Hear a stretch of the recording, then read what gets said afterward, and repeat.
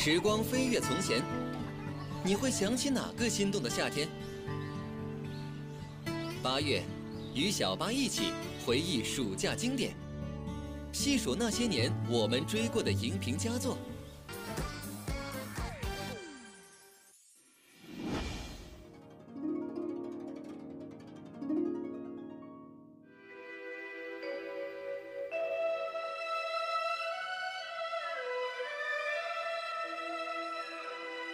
这个妹妹，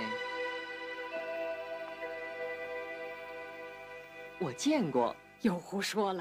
你怎么能见过？我们的脑子里面对贾宝玉的这种形象的一种感觉，更多是来自于六二年上海拍的越剧《红楼梦》，由徐玉兰越剧大师演的那个《红楼梦》，那版《红楼梦》应该说是拍得非常成功的，也影响了几代的观众。第二个呢，就是我们看的是连环画，戴尊邦先生还有刘旦宅先生，他们都画过《红楼梦》的人物，最后做成了连环画。连环画画得非常好，很传神。一九八三年电视剧《红楼梦》首拍，珠玉在前，压力更甚。剧组用两年时间，在全国范围内公开遴选主要演员进入学习班。鞍山话剧团是江苏省杨剧团的，我是安徽省黄梅剧团的。唯有贾宝玉这个角色一直悬而未定。著名的剧作家吴祖光先生就说：“你们要找一个男孩子来演贾宝玉，这个男孩子在中国还没有生出来，就可见他们要选他们心目当中贾宝玉，那是非常非常困难的一件事情。导演希望这个贾宝玉的身高呢是一米六八。”这点呢倒是也刚好就达标了嘛。最主要的还有呢，我从小就演电影，《春潮集》《冰山雪莲》，我的十个同学，还有电视剧啊，这那我从小就接触。最后王扶林导演定我来演这个贾宝玉。我给你的那个荷包，你也给他们了。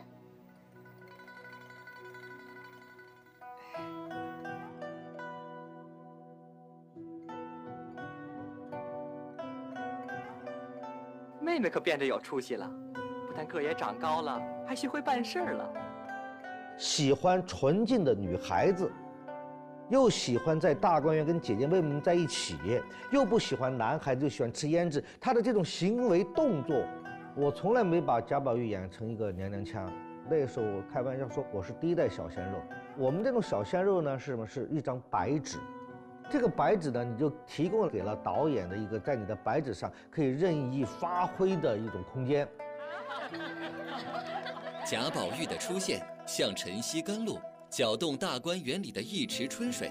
这胭脂膏子也等我回来再制啊。嗯。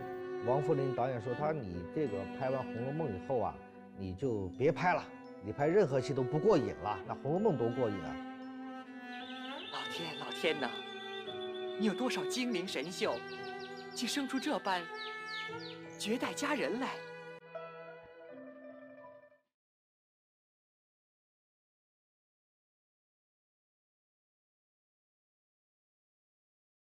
八七版《红楼梦》，它实际上影响了几代人，五零后、六零后、七零后、八零后、九零后，哎，都受到它的影响，蛮有这个《红楼梦》的情怀的。感谢热爱八七版《红楼梦》的这些无数的粉丝们。他们的喜欢、爱戴、敬重我们这个八七版的《红楼梦》，这个名字倒好，不知因何而起的。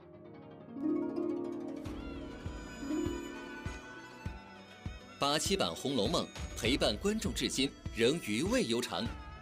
经典循环，再品红楼美学，洞悉人间万事。今夏，让我们再次《红楼梦》一场。